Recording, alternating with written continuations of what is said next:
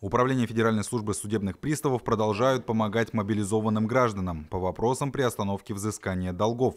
Сегодня с 10 утра до 6 вечера участники СВО или их родственники могли прийти с документами в районное отделение, где проводится исполнительное производство. У нас в рамках действующего законодательства 229 федерального закона статьи 40 мы э, приостанавливаем все действующие исполнительные производства в отношении мобилизованного гражданина.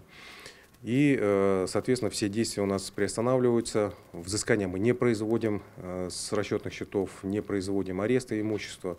Ограничения возобновят только после возвращения служащего домой. Также ведомстве нам пояснили, что будет в случае, если мобилизованный не сможет вернуться.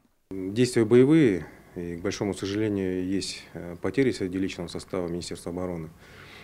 По гражданам, которые, к сожалению, погибли, в рамках специальной военной операции принимается решение об окончании исполнительного производства. То есть есть э, процессуальные основания для окончания исполнительного производства, предусмотренными э, действующим законодательством, ну, в частности 229 федеральным законом. То есть, соответственно, все долги считаются погашенными, исполнительное производство окончено. Стоит отметить, что каждый случай рассматривается отдельно. На сегодня в республике управлением было приостановлено 1733 исполнительных производства на общую сумму более 107 миллионов рублей. Судебные приставы стараются принять как можно больше мобилизованных граждан, у которых возникли проблемы. На решение по делу уходит не более двух рабочих дней. Но, как показывает практика, на это уходит менее суток.